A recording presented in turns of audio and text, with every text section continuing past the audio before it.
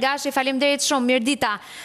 Do doja që bashkë të flisnim për një ngjarje që duket se ka shokuar opinionin publik në Kosovë, një ngjarje e rëndë që raportohet të ketë ndodhur gjatë natës së 3 nëntorit rreth orës 1 në Prishtinë. Dyshohet se një vajzë 14 vjeçare është dhunuar nga disa persona.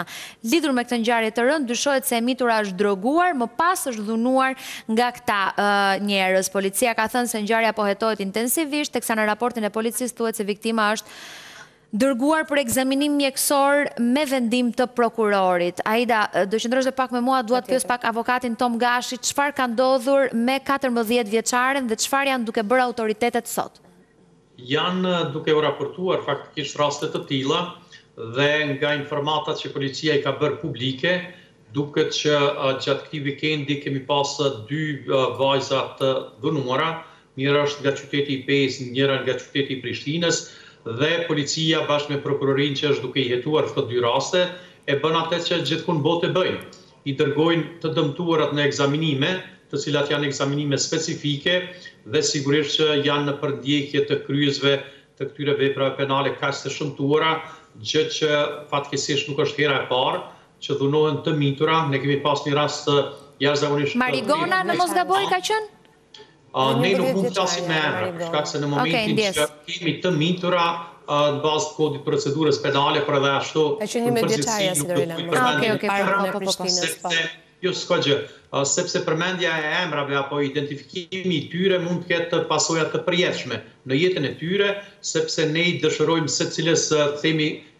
Jo, Gashi, unë kujtoj një vajzë e cila u dhunua dhe humbi jetën në derën e spitalit, edhe ajo ka qenë një rast shumë i rëndë. Kjo që thoni ju është një tjetër, po. Më thuaj pak, Gashi, çfarë po bëjnë autoritetet përkatëse për rastin e katërmbëdhjetë vjeçares dhe a do të ndërmarrin familjarët e saj rrugë ligjore për ta çuar deri në fund? Ne nuk kemi, ligjet nuk janë ligje private dhe si në Shqipëri si në Kosovë pa marrë parasysh familjarë çfarë duan, këto zyrtarisht bëhen hetime dhe të themi nëse mund të shprehemi ashtu askush nuk i pyet familjarët e të dëmtuarve, ata vetëm nëse nuk kanë informata të tjera policia dhe prokuroria e kanë obligim ligjor të raportojnë raste të tilla kur merren vesh që kanë ndodhur edhe është e pamundshme që Familjarët mos të dinë se ku i kanë vajzat e veta posaçërisht të këtyre moshave kaq të vogla. Ndërsa ne e dimë në periudhën kohore në kohën që po jetojmë, me siguri që duhet të gjitha këto çështje kaq të rënda që janë t'ia lëmë gjykatës, t'i lëmë prokurorisë, gjykatës dhe organeve tjera të themi kompetente, jo që ta marrim drejtësinë ta bëjmë me vete, sepse atëherë është vetëgjyqësi dhe sigurisht që mund të vijë tek situata pak a shumë e ngjajshme siç po flet me të ftuarit e juaj për ngjarjen në Shkodër që kolegu im e tha që mund të jenë njëzet të vrarë, pastaj bashkëbiseduesja e juaj e tregoi shumë mirë ngjarjen se si ka ndodhur dhe do të ishte një rreth vicioz që nuk do t'i dihej fundi.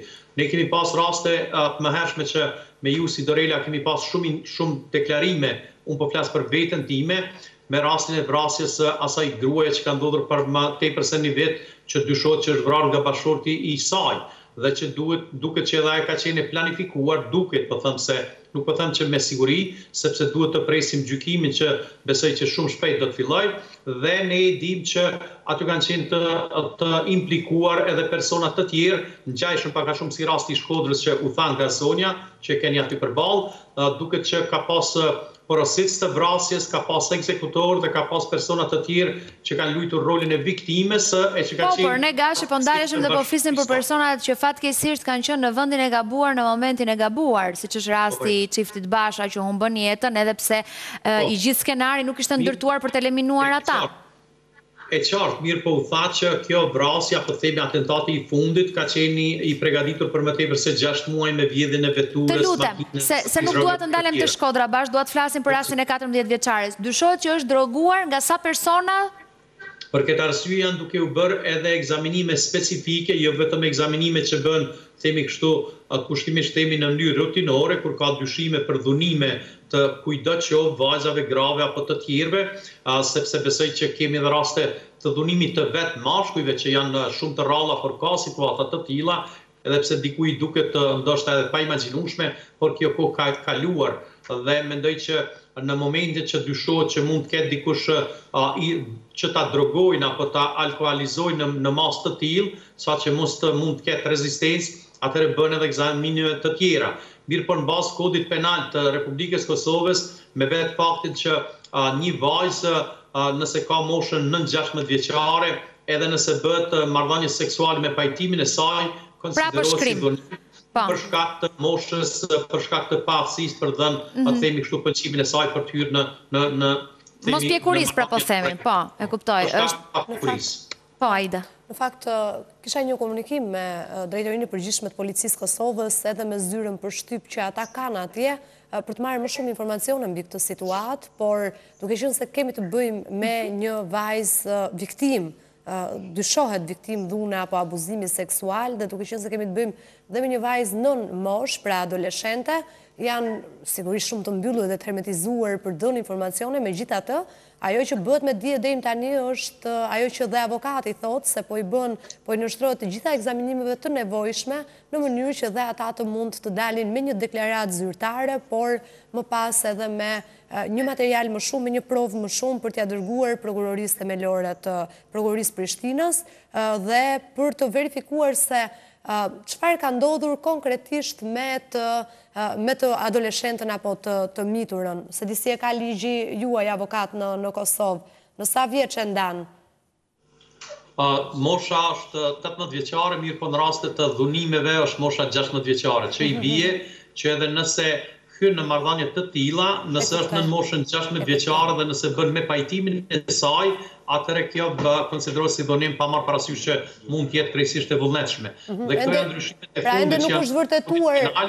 Ende nuk është vërtetuar Sidorela nëse ka patur përdorim të substancave narkotike apo jo, për këtë duhet të presim dhe Ndoshta e mira do të ishte për shkak dhe se familjarët dhe mund të na dëgjojnë të presim derisa të dalë një përgjigje përfundimtare dhe të japim dhe ne deklaratat tona. Sikur Sidorela po të thrasë dhe unë me emër Aida, nëse është bërë përdorimi i substancave narkotike, atëherë rastin e bën shumë më të rëndë. Patjetër. Sepse sigurisht që pastaj janë më tepër se dy, tri vepra penale, sepse në dikujt i hedh në pije, në ushqim apo çfarëdo forme tjetër substanca narkotike për ta arritur qëllimin kryesor, që është dhunimi seksual, atëherë rastin e bën tepër, tepër të rëndë dhe dënimet janë drastike, të themi. Mirëpo, besoj që nëse varësisht tash edhe prej, duket që prej moshatarëve, çfarë moshe kanë, edhe vetë të dyshuarit të për kryerje të të akteve të tilla, nëse janë, unë po të flas në aspekt teorik tani, jo vetëm në aspektin e këtij rasti, nëse janë, themi, të moshës së ngjashme, dënimet mund të jenë më të buta, apo ka raste kur persona që që janë përballë ligjit, shumicën e rasteve thirren që nuk e kanë ditur moshën e viktimës, po të flas për raste kur janë kur janë me dëshirën e saj, mirëpo mosha është e vogël. Mirëpo në këtë rast nëse është përdorur substancë narkotike, nëse mosha e saj dihet, atëherë definitivisht do të përballen me ligjin secili që ka qenë. Një pyetje të fundit, një pyetje të fundit nga Aida dhe do ta mbyllim. Avokat, në fakt më shumë se sa pyetje është edhe edhe shqetësim. A ka diçka që nuk shkon tek ju sepse nuk është hera e parë që ndodhin raste të tilla Pra është përsëritet shpesh si si rast. A ka diçka që nuk shkon me shoqërinë atje, ndoshta me me institucionet, me çfarë e shkakton dhe jo. çfarë e bën më të lehtë jo. që të ndodhin raste të jo, tilla? Sepse fatmirësisht këtu tek ne janë minimizuar shumë të tilla raste dhe të miturave, ëh, janë minimizuar të miturat, mos themi që është minimizuar krimi, apo. Jo krimi, të miturat që flisim për Shkodrën. Nëse lejon.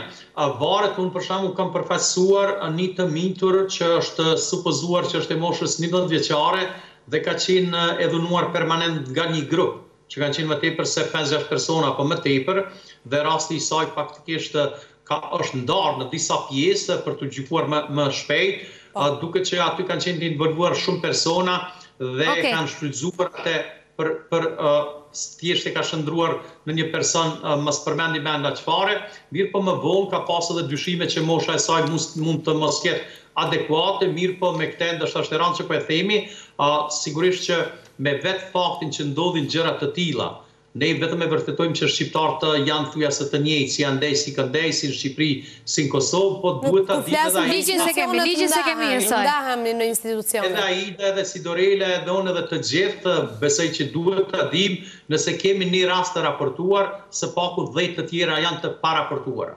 Avokat. Sepse ne e dimë mentalitetin e ne shqiptarëve. Patjetër, ne e kuptojmë që ndodh edhe në Shqipëri, ndodh edhe në Kosovë. Pyetja që kishte Aida ishte, masat që merren në Kosovë, a janë të të njëjtit nivel të ashpra njësoj si në Shqipëri, Dhe cila është arsyeja që në Shqipëri stepen, ndërsa në Kosovë numrat janë po të lartë. Kjo është ideja. Këtu dua të dal. Besoj që institucione parandalimi? Nuk raportohen thua në Shqipëri, po kjo është më e rëndë pastaj. Dhe po ta them që për shembull ne kemi për rastin e njëmbëdhjetëvjeçares të dënuar deri në dymbëdhjetë vite burg, dhe mosha e tyre nuk ka qenë aq e madhe. Ok, se nuk kam më minuta dhe më duhet ta më duhet ta mbyll. Rreth 20 vjeçar. Të falenderoj shumë avokat për informacionet që na dhe për ngjarjen e katërmbëdhjetëvjeçares. Aida, është gjithmonë kënaqësi. Faleminderit. Shumë shkurt një hapësirë publicitare, do të kthehemi përsëri bashkë, do të flasim për situatën në zgjedhjet e Shteteve të Bashkuara të Amerikës.